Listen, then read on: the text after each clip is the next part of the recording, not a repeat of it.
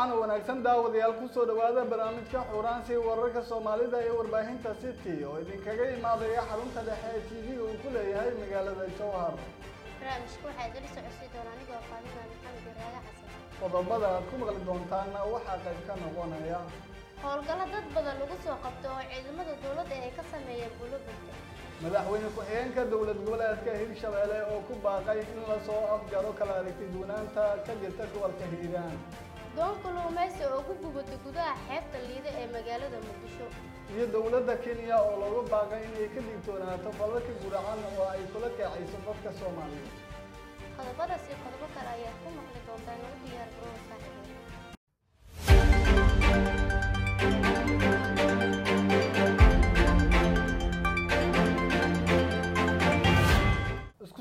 wanaagsan daawadayaal sida qodobada horraacaba aad ku maqlayseen. Madaxweyne ku-xigeenka dowlad goboleedka hirshabelle ayaa ku baaqay in la soo afjaro kala aragti duunaanta ka jirta gobolka hiiraan.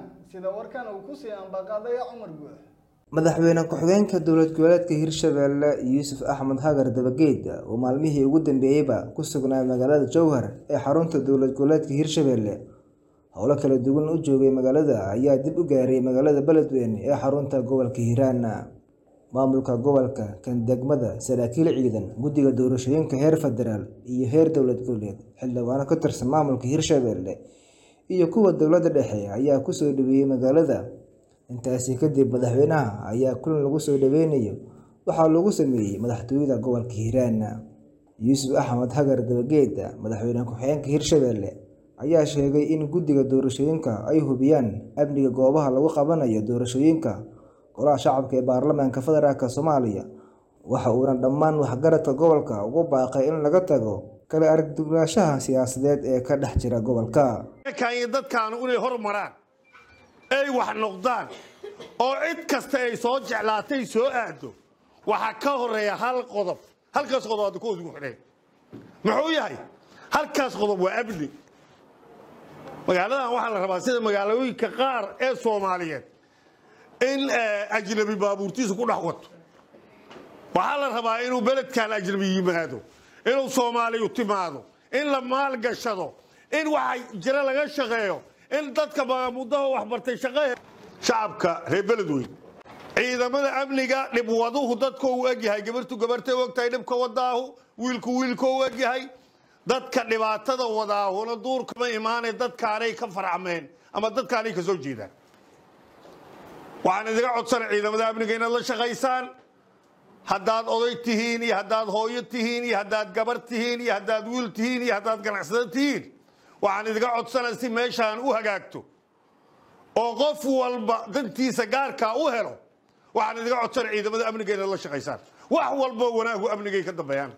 Maxamuud daacad warbaahinta city gobolka geda ayaa sheegay inay dhisayaan jubbaland xalaal ah sida ay warkan inoogu ambaqaadaysa wadani gudoomiyaha gobolka gado oo ka mid ah gobollada soomaaliya axmed buule gareed oo gaaray degmada luuq ee gobolkaasi ayaa sheegay in degmada garbahaare ee ka mid ah meelaha doorashooyinka ay ka dhacayso aysan ka jirin wax dhibaato ah taliyaha ciidamada nisa cabdiraxmaan cabdulaahi aadan bakaal afhayaanka gobolka gudoomiyaha degmada luuq gudoomiyaha deegaanka iyo mas'uuliyiin kale ayaa qayb ka ah wafdiga axmed buule gareed gudoomiyaha gobolka ayaa sheegay in doorashada baarlamaanka soomaaliya si nabad ah uga dhici doonto gobolka gadow gaar ahaan magaalada garbahaare.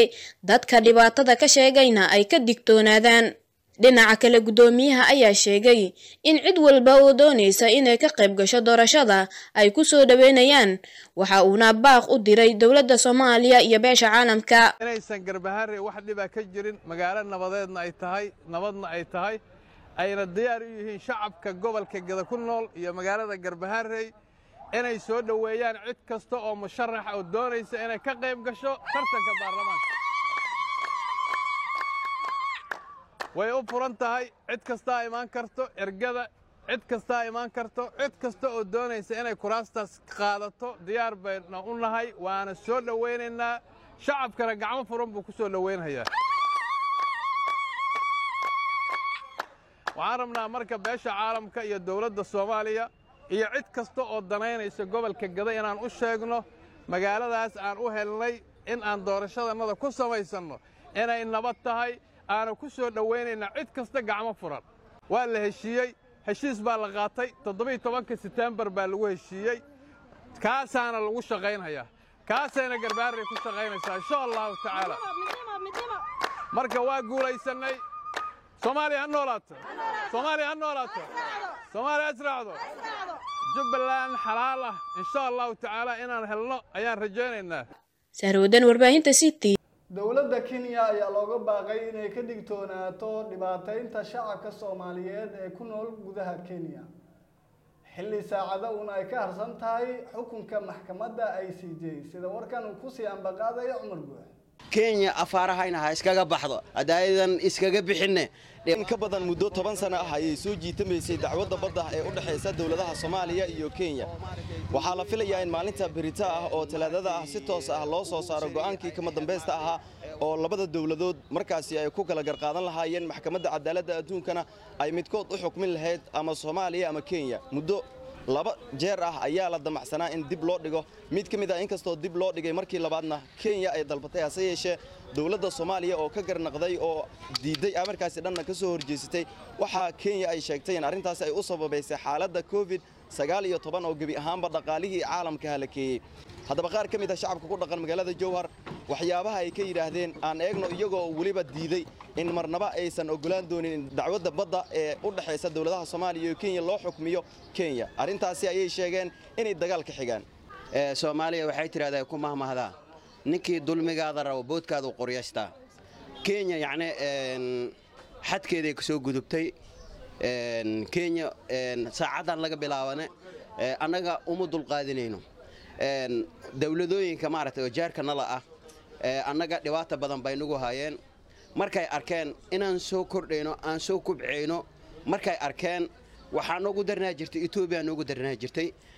Markay arkeen maaragtay dowladooyinka caalamka inay soomaaliya ay tahay dowlad markaas soo kubcaysa markay tahay markay arkeen kenya waxay bilaabtay edabdaro waxay bilaabtay qowlaysatinimay bilaabtay marka yacni u dulqaadan mayno. Hadday markaas dagaal diyaar ay u tahay annaga waa nala yaqaanaa waxaana la yidhaahdaa soomaaliya nala yidhaahdaa dad aan gabaninin baan nahay. Kenya tabarteeda ha ogaato kenya naguma aado. Dowladooyin ayada maaragtay ka quwad sarayso ka awood badan annaga wax naga qaadi waaye hadday edab darada ay dhaafo weyso maaragtay nairobi maaragtay aan salaada jimcaha u dukanayna hadduu ilaah yidhaahdo.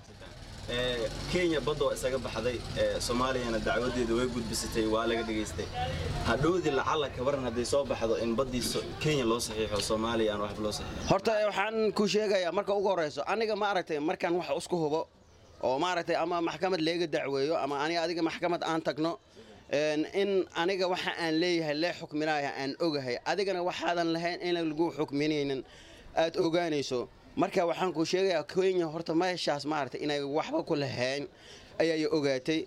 In waxna loo xukminaynin ayay ogaatay.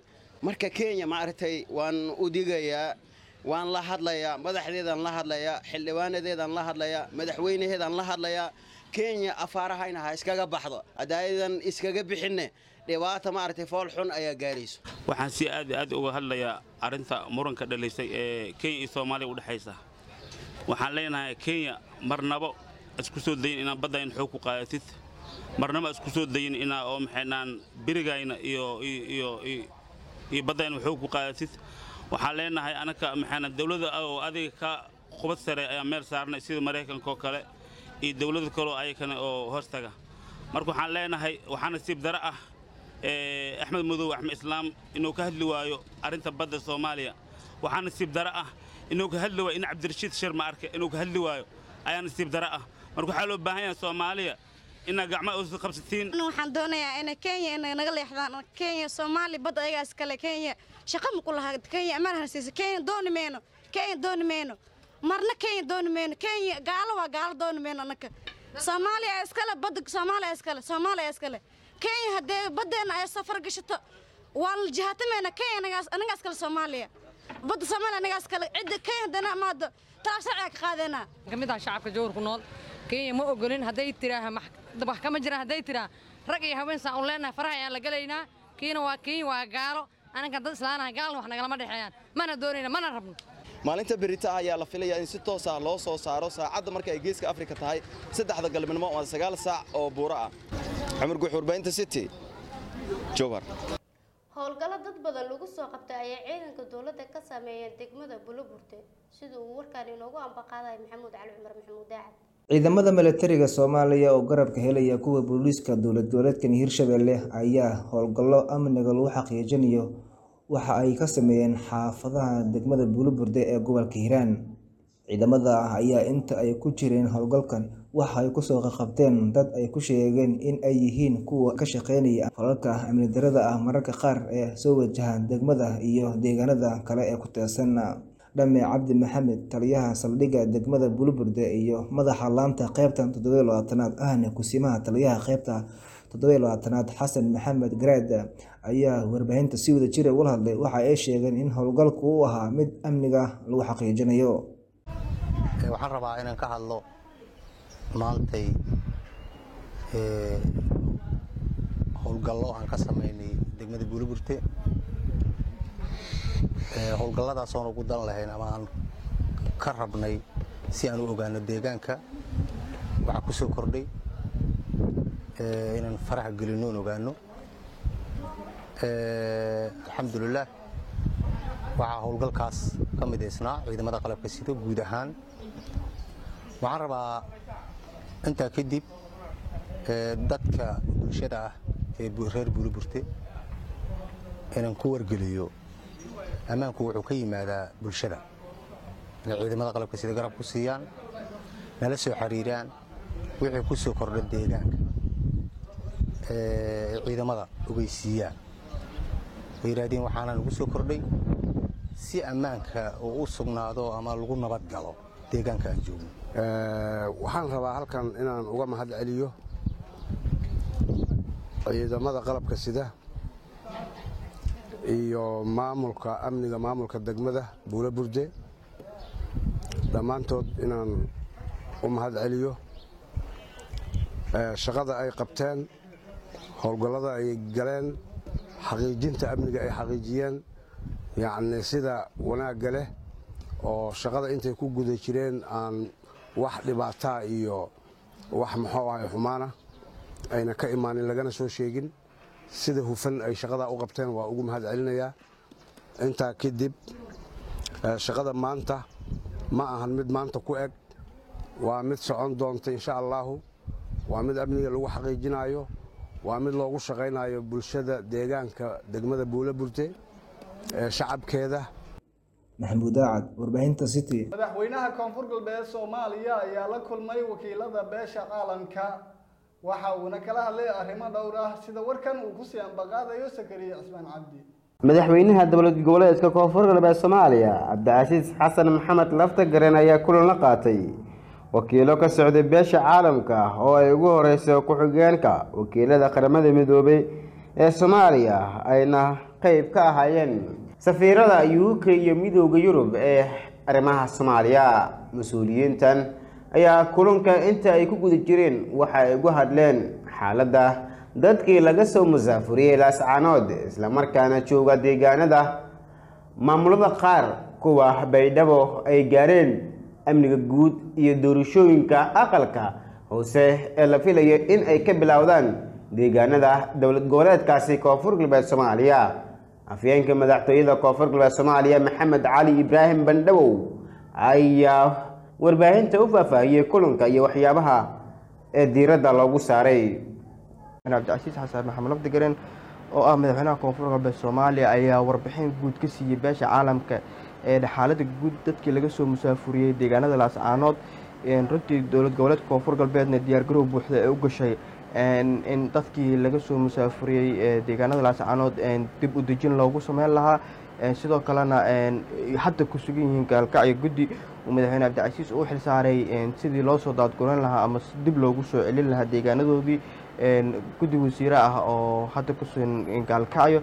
Sidoo kale wuxuu madaxweyne cabdicasiis warbixintiisu ku siiyey beesha caalamka ka mid ahayd sidii dowlad goboleedka koonfur galbeed guud ahaanteeda diyaargarow u gashay in dadkii laga soo musaafuriyey deegaanada laascaanood dib u dejin loogu sameeyo deegaanada koonfur galbeed oo hadda dib u dejin ballaaran loogu sameeyey degmada baydhabo oo ah caasimadda kumeel gaarka ee koonfur galbeed.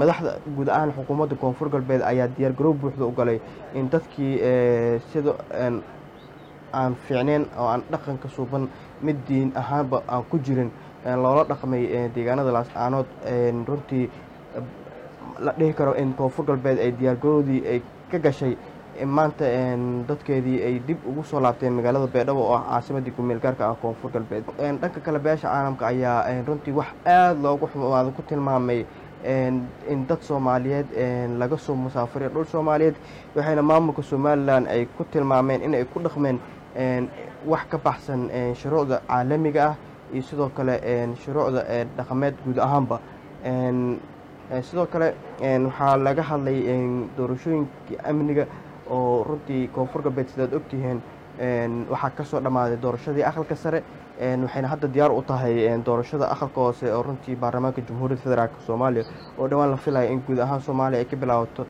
Doon kalluumeysi ayaa ku gubatay gudaha xeebta liida ee magaalada muqdisho. Cumar guux ayaa ka waramayo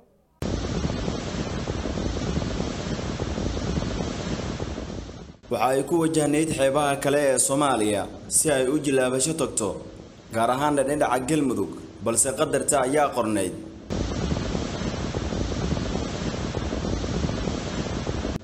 in muddo ah ayay ku gubanaysay gudaha badda doontan oo ah nooca kalluumaysiga waxaana ka dhex kacay dab lama filaan ah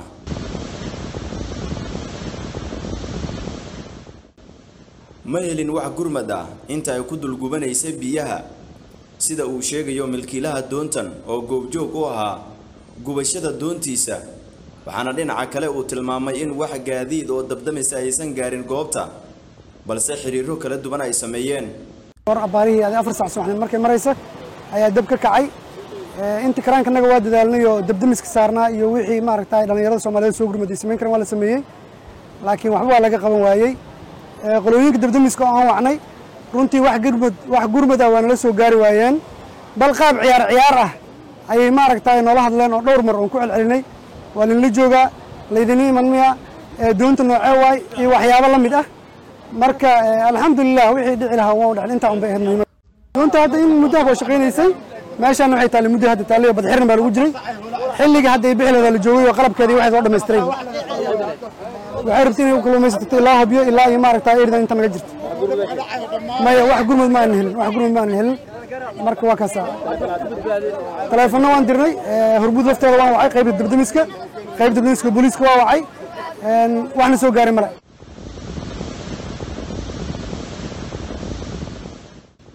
doontan ayaa u jilaabasho tegi lahayd xeebaha hobyo ee deegaanada galmudug balse ma aysan noqon cumurka xurbaynta city. Maamulka degmada waaberi ee gobolka banaadir ayaa sheegay inay wax ka qabteen cabashooyin ugu imaadayay bulshada sida warkan ay magaalada muqdisho inooga soo dirtay muna cabdiraxmaan. Howlgal uu horkacaya gudoomiyaha degmada waaberi ee gobolka banaadir ayay ciidamada dowladda federaalk soomaaliya gaar ahaan kuwa booliska waxa ay ka sameeyeen xaafadaha qaar ee ka tirsan degmadaasi.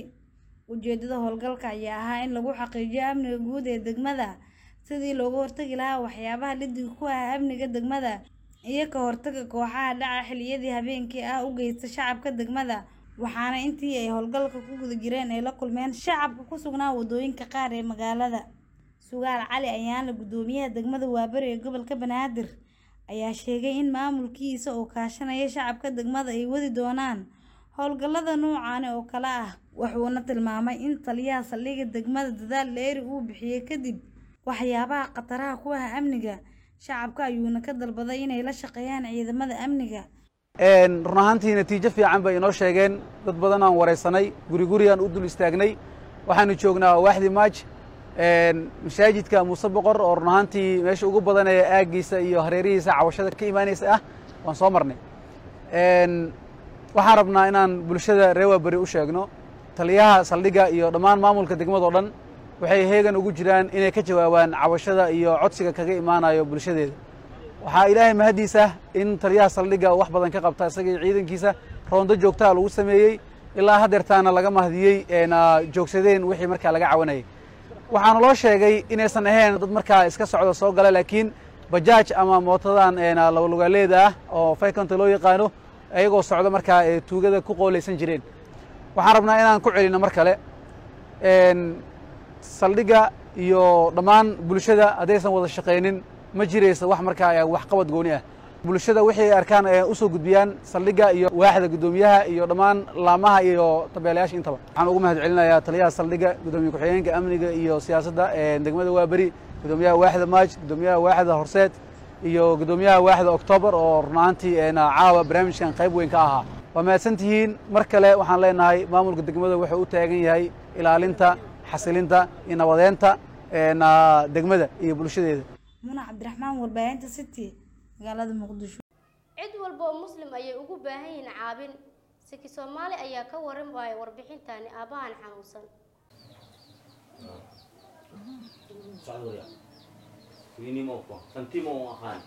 Dunidan maalinba waa maalin. Hadday maanta maalintaadu tahay ogow dad badan ayaa kaaga baahan caabin iyo garab istaag sida. Aabbahan muddo toddoba sano ah ku xanuunsanaya qaybo ka mid ah magaalada jowhar ee caasimadda hirshabelle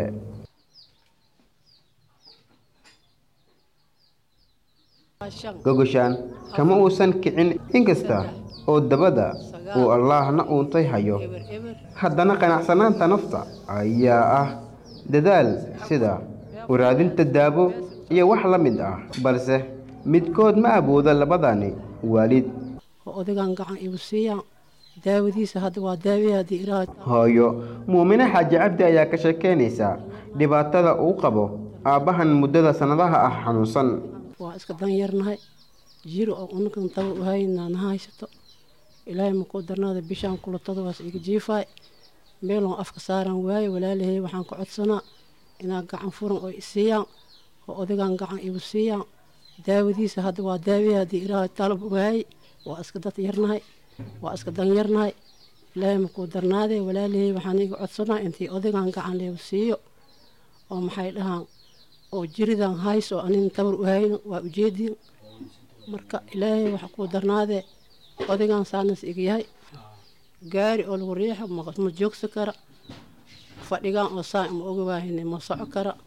Gaari oo maxay dhahaan oo isku fadhiisto oo isku socdo oo gacan leegu siina waa codsanaa taasna waan iga codsanaa walaalaheeyo balee ogaada sii qaad soo qaadaa idishi ilmihii ani waa iskur macaani ma soco kara darab meel ma gey kara. Maamulka waxaan ka codsanaa iyo shabeelaha dhexo waxaan ka codsanaa inaa gacan furan isiiyaan oo gacan isiiyaan oo walaalnimada iisoo taagaan gacanta iisoo taagaan oo walaalnimada iigu soo codeeyaan oo meel kasta mehii walaal oo jiro oy soomaali jirto oo gacanta iisoo deeyaan. Odagaan waxaan iiga codsanaa daawo oo hadda tabar u hayna oo xamar dhexdiisa laga sheegi oon tabarna u hayna oo walaalaheeyo iigu soo kaalmay kartiin taasna waan iiga codsanaa. Aa intii muslimiinta eh oo walaal eh oo gacanta iisoo daysiinaan iiga codsanaa. Furaha shan afar saddex sagaal eber eber. Sagaal. Zakriya cusmaan cabdisaki soomaali warbaahinta city jowhar maamulka gobolka banaadir ayaa sheegay in lala xisaabtamayo hay'adaha ka howlgala magaalada muqdisho sida warkan ay magaalada muqdisho inooga soo dirtay shamis cabdi geedi. Gudoomiyaha gobolka banaadir ahna duqa magaalada muqdisho cumar maxamuud maxamed cumar filish ayaa xarunta taliska ciidanka ilaalada deegaanka xamar iyo xarunta daddhigista dowladda hoose ee ku taala degmada shangaani ee gobolka banaadir ka sheegay in lala xisaabtami doono hay'adaha ka shaqeeya magaalada.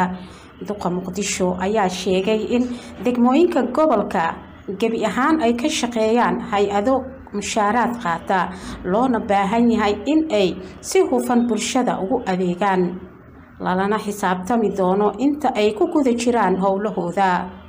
Gudoomiyaha ayaa dhinaca kale agaasimayaasha gobolka faray in kuwa dhaliilaha leh ee shaqooyinkooda ay wanaajiyaan halka kuwa kalena ay ku booriyaan in ay sii wataan howlahooda. Howlaha hay'ad walba oo gobolka banaadir ay qabato ee si hufan oo wanaagsan oo sharaf leh loo qabto maxaa yeelay waad ku mushaar qaadataa waana dalkaagii haddii aadan dalkaaga u hagaarbaxayn oo aadan mushaarkaaga u hagaarbaxayn anugu ma garanayo waxa dambe aad u hagaarbixi doonto. Sidaa darteed isla xisaabtan ayaa jira wuuna jiri doonaa isagoo intii ka sii adag. Waaxyaha dhaliilaha leh inay dhaliilaha iska tiraan kuwa aan dhaliilaha lahaynna waa uga mahad celinayaa inay sii labalaabaan shaqadooda. Intaas ayaan ayagana dhihi lahaa maantay si rasmiya ayay u furan tahay xaruntan isugu jirta saddexda xarumood ee ah xaruntii ciidanka ilaalinta xaruntii anagaraafeeda dhigista ayaa xarunta waaxda ama guddiga xallinta khilaafaadka dhulalka. Shams cabdigeedi warbaahinta city muqdisho. Guud ahaan intaas ayaan ku soo gabagabeyneynaa barnaamijka xuraasi ee wararka soomaalida. Oo idinka imaanaya stuudiga dhexe ee city ku leeda magaalada jowhar barnaamijka waxaa idinla socodsiinaya anigoo ah raaga xasan cumar iyo weliba faadmo maxamed shariif. Barnaamijkan barnaamijkiisa xigay inta aan ku kulmayna sidaas iyo ammaana allah